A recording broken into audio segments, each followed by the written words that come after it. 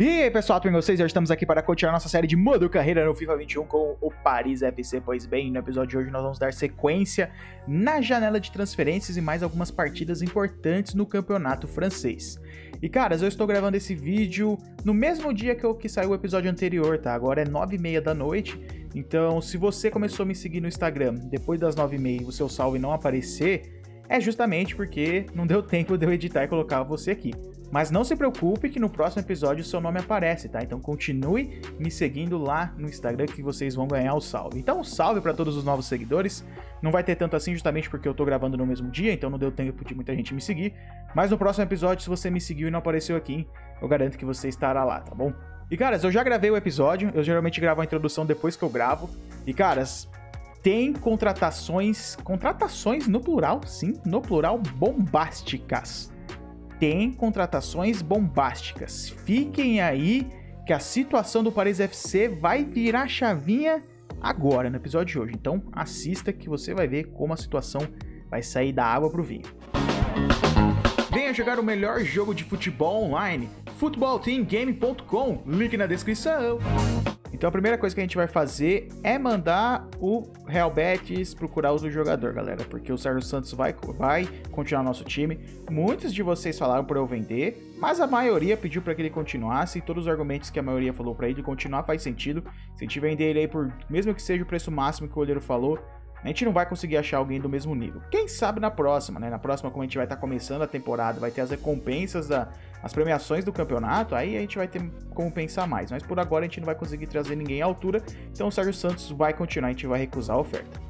E uma coisa que eu fiz, galera, foi vir aqui na, na parte de procurar jogadores e colocar aqui, ó, pra transferência. E eu achei algumas coisas interessantes que eu vou mostrar pra vocês agora. Tô aqui olhando e olha só quem tá pra transferências, galera. O Chiellini, ó, na lista de transferências. O problema é que ele ainda é muito caro, mas é um jogador que eu vou ficar de olho porque a Juventus não quer mais ele. Um outro jogador que é bem legal aqui, ó, é o Kevin Malquit, francês, que também tá na lista de transferências, é um pouco mais barato, mas ainda não se encaixa no nosso orçamento. Mas um cara legal que eu achei foi o Eric Durme, jogador alemão do Frankfurt. Ele jogou em vários outros times, se eu não me engano, jogou no Borussia Dortmund, pode ser que tenha jogado, pode ser que não, mas é um lateral esquerdo, embora seja lateral direito de ofício, porque justamente a perna boa dele é a direita, então ele é lateral direito. E, caras, eu acho que é um cara interessante pra gente contratar, porque ele é bem barato que eu vou mostrar pra vocês. Então, dando uma breve olhada aqui, galera, como vocês podem ver, ele joga de lateral esquerdo, lateral direito e meia direita. Mas, na verdade, ele é lateral direito porque a perna boa dele é a direita, então é a melhor posição que ele atua. E, caras, é um jogador que vale ali entre 2 milhões e 150 e 2 milhões e 300, e um salário bem baixo. Mas como ele, como ele tá na lista de transferências, eu acho que consigo pagar menos de 2 milhões que vai ser um jogador interessante para esse decorrer de temporada, então vou conversar com o Frankfurt. Às vezes, galera, dá até para oferecer jogador por troca. Vamos dar uma enviada aqui, ó. Vamos enviar esse jogador e propor um valor aqui de 500 mil, só para ver o que o Frankfurt fala. Pode ser que eles aceitem, né? Uma troquinha ali, a gente trouxe vários jogadores de volta, vamos ver o que eles falam. Tá, ó, pediram bem abaixo do que eu pensei, porque justamente eles já tá na lista de transferências. Vou dar uma estudar aqui e ver que, que proposta eu posso fazer. Vou oferecer um milhão e meio apenas, vamos enviar a oferta, baixar um pouquinho, vamos ver o que eles acham, um milhão e meio. Olha, caras, eu não falei que dá para pagar bem abaixo, justamente porque ele tá na lista de transferências. Então vou enviar 1 milhão 530 mil, vamos ver se eles aceitam. Maravilha, cara, que negociação baratinha por um cara bom, cara. Muito bem, galera, ele não falou tanto que quer ganhar, vou oferecer aqui 15 mil de salário, mais 80 mil de luvas, vamos enviar essa oferta, vamos ver o que o Durme fala. Beleza, foi uma oferta dentro do que ele esperava, a gente faz a contra-oferta, remove o bônus e vou editar, caras. Eu quero economizar salário máximo que der, justamente para não ferrar nosso orçamento. Então, um, é, 20 mil, 130 mil de luva, envia a oferta, vamos ver o que ele acha. Maravilha, deu certo.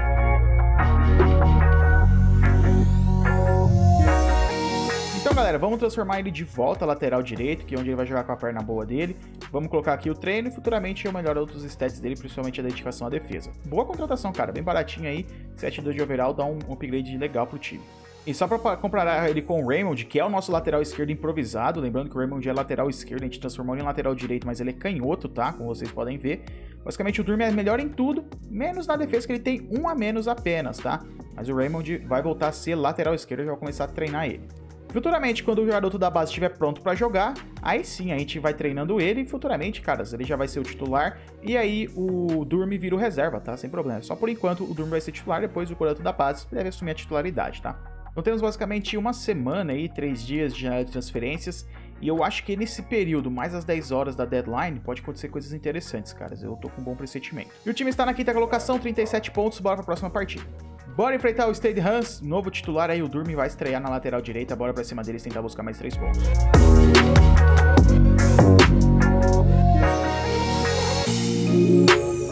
Ó, o Morro com a bola, lá vem o time deles, do Stade Hans, tira essa bola e passa aqui com o Baba, tira essa bola dele. Boa, Baba, você redimiu.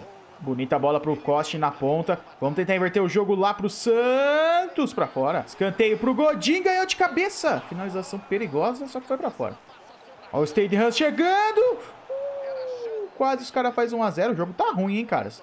Pensa no jogo ruim, é esse aqui. Lambert calmou, acho o Timothy. Faz a jogadinha. Fez a jogadinha do 1-2. Ah lá, o Wigan Eleve 2002. Baba na ponta, mete cruzamento. Vai Santos. Calmou, sobrou. Baba jogou. Lambert domina e chuta. Esse Davi Luiz fake aí. Tirou muito bem a bola. Vai Jet Williams, arrisca.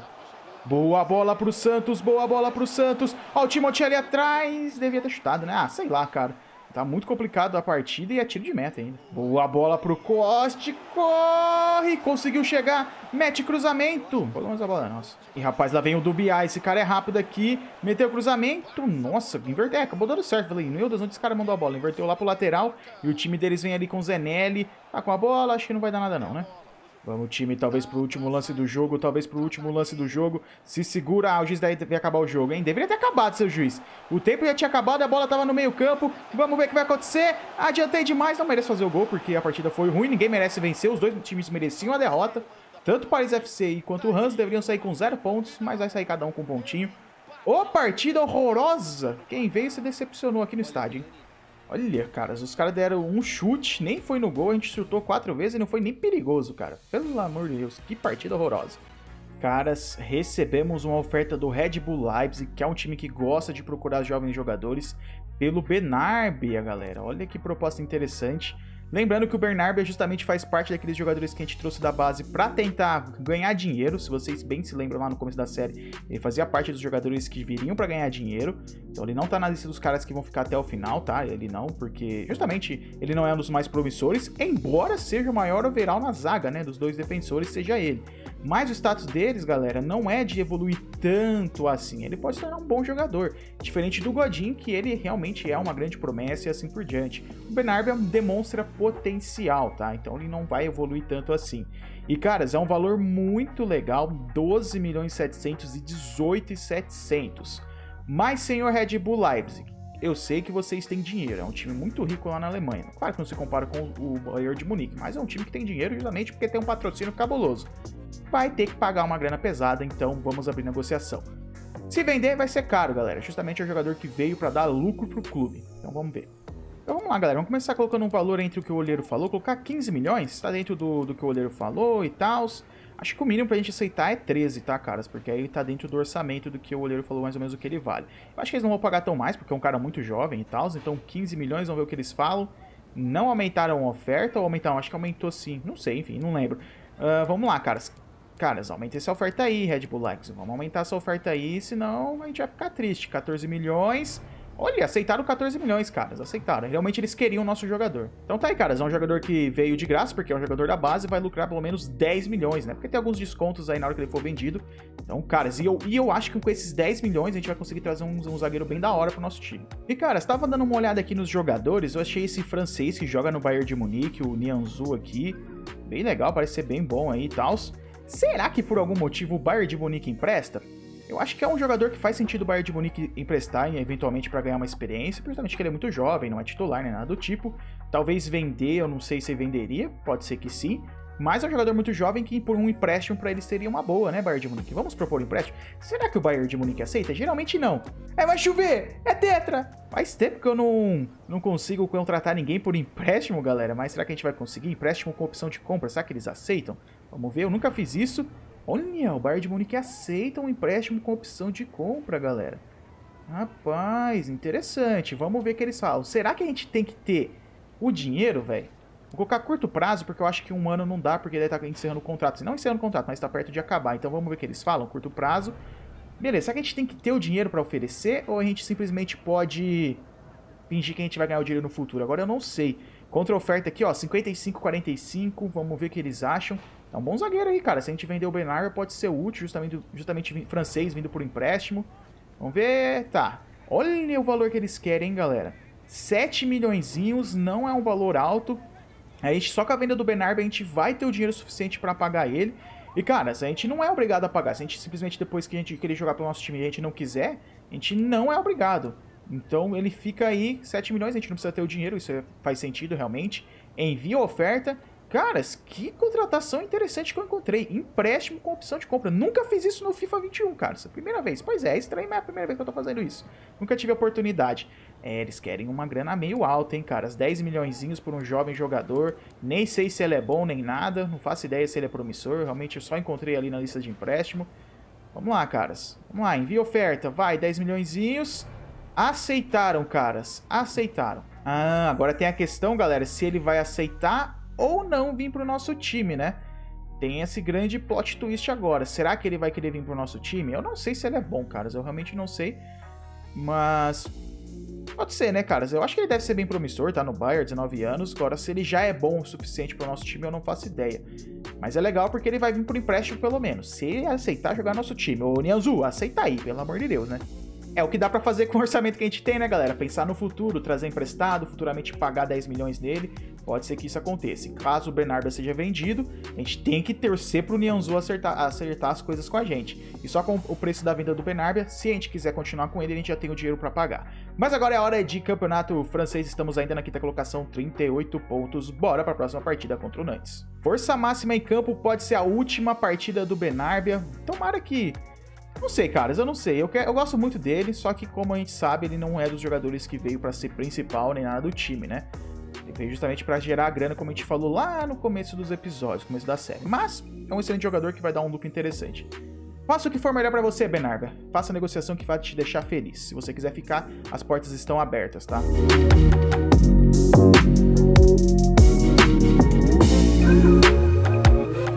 Boa bola pro Santos. O time faz, faz tempo que não ganha no campeonato francês. O Santos vem aí! 1 a 0 Paris FC. A gente veio de uma derrota, se eu não me engano, e depois um empate. Nesse meio termo teve a classificação na Copa da França, mas aí não é campeonato de, de pontos corridos, né? Se o time precisa voltar a vencer, faz duas rodadas que não vence. Boa bola com o Santos, tá jogando demais, bate finesse com curva no gatinho, sem chance pro goleiro. Santos vem com velocidade, o time deles não consegue acompanhar. Não consegue acompanhar, vai tomar show. Vamos, Paris! Tinho E amplia o placar 2 a 0 mais uma assistência do Santos. Ih, rapaz, tem partida que parece que a CPU tira o pé, que nem na partida passada foi complicadíssima, a gente ficou só no 0x0, foi um jogo muito ruim para ambas as equipes, mas agora o Paris tá on fire 2x0.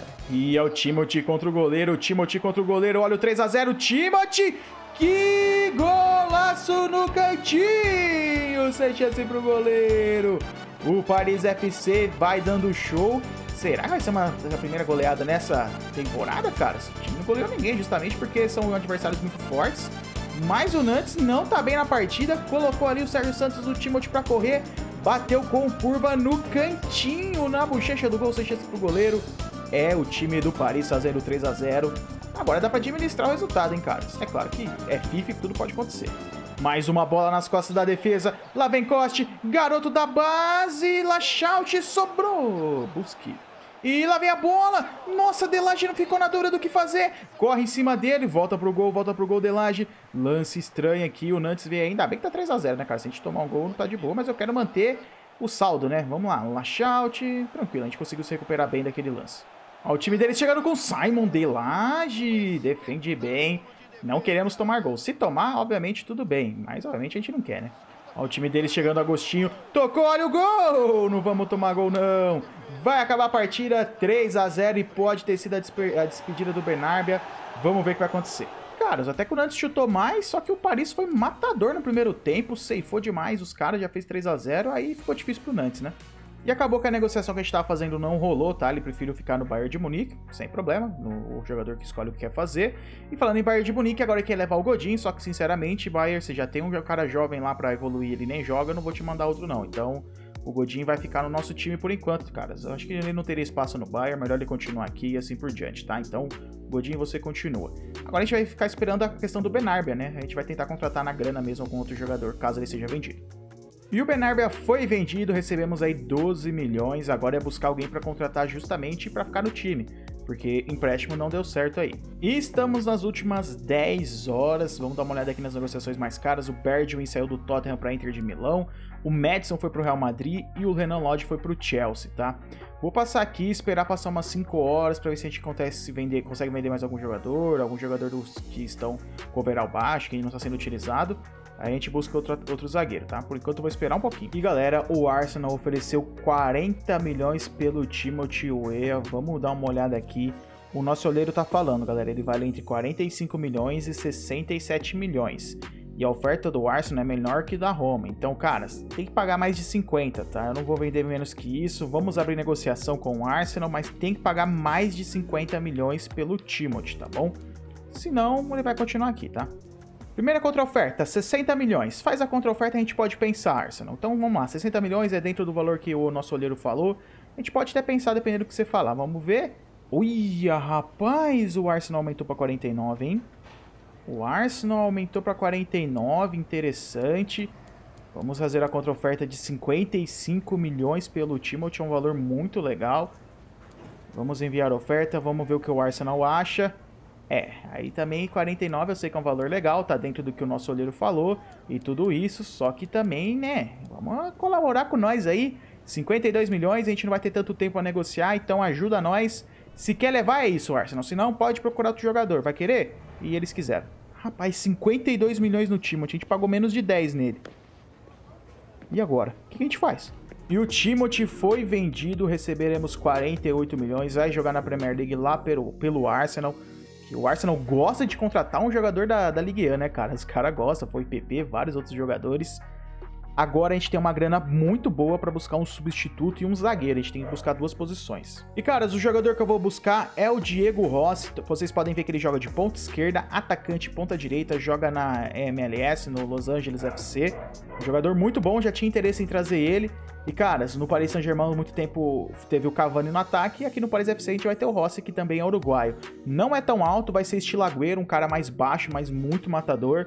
Vale entre 22 e 31. Acredito que sobra dinheiro ainda pra gente buscar um zagueiro. Bora propor a compra aqui. Tô sentindo dor no coração pela despedida do Timothy, mas vai jogar na Premier League, né, cara? É difícil. Todo jogador tem o desejo de um dia jogar a Premier League. Então, vamos lá. Começar com 20 milhões, bem abaixo, eu sei, mas vai que por algum motivo eles aceitam. Pelo menos agora a gente tem mais ou menos a base para entender o tanto que eles querem. Eles querem 27 milhões, vou enviar 23. Vamos ver se eles aceitam. Aceitaram, beleza. Cara, é um lucro Cara, a gente tá pagando, tipo, metade do preço que a gente vendeu o Timothy.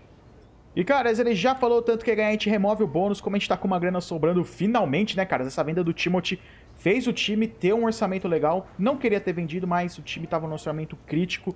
Vamos enviar a oferta. Seja bem-vindo, Rossi. Seja muito bem-vindo, nosso novo atacante uruguaio, estilo Cavani, só que estilo Agüero ao mesmo tempo.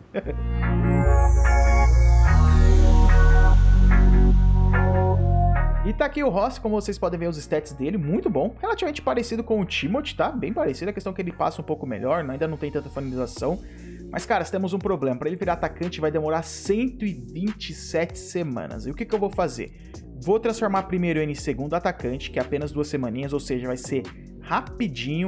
E depois a gente transforma ele em atacante ou muda a formação, volta ele um pouquinho atrás, transforma ele em SA, que também não vai ter problema algum. Até ele combina com SA, estilo Messi. O Messi por muito tempo no Barcelona jogou, principalmente no, no, no Barcelona do Guardiola, era o Alex Sanches no lado, Messi de segundo atacante no meio e o Pedro na ponta direita. Ele pode fazer essa função também, porque ele é baixinho e tal, e a gente já jogou com o segundo atacante lá no modo carreira com o Nottingham.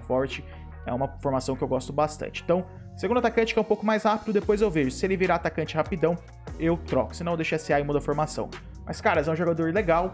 Tomara que ele tenha um bom desempenho, cara. Se não for parecido, a gente vai estar tá ferrado. Mas eu confio em você, Rossi. Confio responsabilidade grande de substituir o mito chamado Timothy Weah. Então você está vendo que ele está como menos 4. Se eu só simplesmente deixar do jeito que tá, tá na 433 que a gente usa. Simplesmente, ó, ó, tá igualzinho, não mudei nada. Apertar o quadrado, apertar o X aqui e mudar para SA, olha como já faz uma diferença. Ele fica neutro e já tá treinando para CSA, tá de buenas aí. Então, eu acho que a gente não vai nem, mexer em nada, cara. Nem mexer na, na, formação aqui em si. Vai ficar como SA, mas vai funcionar bem. Vamos ver, cara. Vamos ver. Eu tô na expectativa boa, Rossi. Não vacila não, que... mas eu confio. Eu confio em você. Como o Arsenal tirou um jogador nosso, vou em busca de um jogador do Arsenal também, um jogador que não é titular. Na verdade, o Mavropanos aí, ele tá no Stuttgart na vida real, ele tá emprestado pelo Arsenal, mas aqui no nosso save ele já voltou. E, caras, vamos tentar trazer ele, é um jogador muito alto, um zagueiro bom, bem, bem bom, então vamos tentar recompor a saída do Benarba com um, jogador, com um jogador do mesmo nível que ele. Então bora propor a compra. Eu acho que ele vale uns 15 milhões, vamos ver, vamos conversar. Vou enviar 15 milhões, vamos ver a contra-oferta do Arsenal. Eles aceitaram de primeira, acertei bem na mosca o valor dele, hein?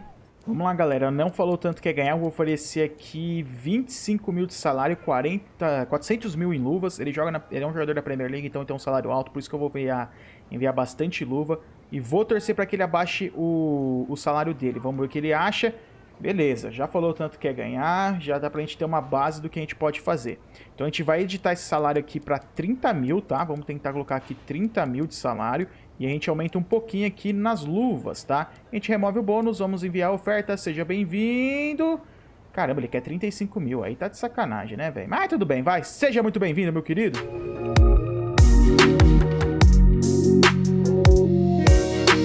E tá aí, caras. Olha que stats legais, bem rápido, 7-6 de ritmo, boa defesa, um físico bom, só tem que melhorar ali um pouco a impulsão e o fôlego, tá? Mas, caras, jogador bem razoável, bem interessante, colocar um treino de qual marcador, porque eu acho que ele precisa melhorar bastante ali a questão da impulsão para ele poder dar umas cabeçadas um pouco melhor e o fôlego, e melhora também um pouco a velocidade. 7-6, ele tem o mesmo nível do Benarbia, eu acho que valeu a contratação e foi vendido quase o mesmo preço, né? Um pouquinho mais caro, mas sem nenhum problema. Uma coisa que eu acabei pensando agora, galera, é que qualquer coisa a gente pode fazer isso aqui também, né? Porque o Santos, a gente contratou ele como atacante, tá? O Santos, ele é atacante, a gente transformou ele em ponto esquerda justamente por causa do Timothy e o Rossi é ponto esquerda, né? Qualquer coisa a gente pode fazer essa inversão, deixar o Santos centroavante, que a gente sabe que ele é matador e tal, e o Rossi na ponta esquerda, qualquer coisa a gente inverte. Mas por enquanto eu vou deixar assim, para ficar nas posições certinhas. Mas se der ruim a gente troca, que a gente sabe que o Santos é garantia de gol. E a janela de transferência se fechou. E, caras, a gente já pode ver que a gente vai ter dois confrontos diretos aqui contra o Olympique, um atrás do outro, né? E finalmente o time saiu da crise, sobrou 19 milhões de orçamento, basicamente aí 20 milhões. Talvez a gente pudesse ter gastado todos esses 20 milhões? Poderia, caras. Mas nenhum time do mundo gasta todo o seu dinheiro, tá? Como a gente conseguiu um lucro, eu prefiro guardar esses 20 milhões e junto com a premiação do, da Ligue 1, das, das Copas que a gente for disputando, aí sim na próxima temporada a gente vai ter uma grana um pouco maior. A gente consegue aí depois trazer uns jogadores melhores ainda. Então acho que é melhor a gente guardar um pouco do dinheiro, juntar com as premiações e trazer jogadores melhores, do que simplesmente a gente sair gastando com os jogadores que não são tão bons e deixar sem nada, né? A gente dois, trouxe dois jogadores que não são nenhum overall absurdo nem nada, mas acabou sobrando grana pra gente fazer contratações futuramente. E, caras, eu acho que esses jogadores se encaixariam no time do Paris no, na situação que estamos agora. Não são super jogadores, nem nada do tipo. O Rossi mesmo é um jogador de liga alternativa. O próprio Mavropanos aqui, ele tá no Stuttgart, o Arsenal não utiliza ele. E o Arsenal gastou uma grana pesada com o nosso time, então ele precisava também recuperar um pouco. Então a gente trouxe ele por 15 milhões. Então acho que essas negociações vão dar um, uma ajuda pro resto da temporada do time, pro time sobra dinheiro para a gente pensar na próxima, já começar a fazer planejamento para ver o que, que a gente vai melhorar na próxima temporada. Porque justamente na próxima temporada, aí sim eu quero dar uns, uns upgrades mais de peso, por assim se dizer. Porque justamente agora a gente está na janela de inverno, e na janela de inverno não tem tanta negociação cabulosa assim. Geralmente é na janela de verão, onde as negociações são as mais pesadas, porque isso dura dois meses e tudo isso. Então acabou que a gente perdeu o nosso capitão que foi aí para o Arsenal, vai jogar a Premier League. É uma pena, mas a gente conseguiu trazer algum jogador legal, trouxe o Rossi. E também com a grana dele a gente conseguiu trazer até mesmo um zagueiro bom, cara. Eu ia trazer um zagueiro mais razoável, mas a gente trouxe um zagueiro aí bom. Deve evoluir um pouco pela idade, é bem jovem e tal. A gente deve trazer aí um upgrade, um upgrade muito interessante para o nosso elenco. E tem as promessas da base que estão evoluindo, né, cara? Essas promessas vêm evoluindo, vêm se tornando bons jogadores e ajudando o time a chegar mais longe nas competições. Então isso é muito importante. E como agora a gente tem uma grana sobrando, dá pra depois em off eu renovar os contratos dos jogadores. Eu não tava renovando porque senão não ia sobrar tanta grana, mas agora vai dar pra gente renovar. De qualquer forma, muito obrigado a vocês que assistiram, eu espero que vocês tenham gostado. Não sei se o episódio ficou muito longo nem nada, a gente fez apenas duas partidas, pro vídeo ficar certinho e tal. E eu tô gravando meio de noite esse episódio, então eu não sei realmente se o vídeo tá muito longo. De qualquer forma, tivemos várias negociações surpresas no episódio de hoje, negociações que acho que a maioria, assim como eu, não queria que tivesse acontecido, mas a vida é assim, os times menores sofrem por causa dos times grandes, principalmente a situação do Paris estava antes da venda do Timothy, totalmente sem dinheiro, então o time precisava de dinheiro e não deu para segurar e foi vendido por uma grana muito, muito boa mesmo. Se o Paris FC tivesse 20 milhões como tem agora, dava para segurar porque o Paris ia estar tá com grana sobrando para pagar salário à vontade, mas o Paris estava numa situação crítica. Mas o Timothy ajudou no futebol e ajudou o banco do Paris, porque agora a gente vai ter muito mais condição de segurar os jogadores, porque tem dinheiro sobrando. Explicações à parte, espero que vocês entendam o que aconteceu, foi com base nisso. Realmente aconteceu, né, galera? Mas muito obrigado a todos, espero que vocês tenham gostado. Quem sabe o Timothy volta futuramente. Até a próxima. Tchau! Uh, yeah, my life is lovely now, I'm focused on me. You said you were about to die, I guess the car is on E. But see, I ain't even tripping, cause I just chose to believe that somebody gon' come around and give me just what I need. I don't wanna see you frowning, see you looking down and out. Coming to me crying, saying you miss having me around. Gave you chances and you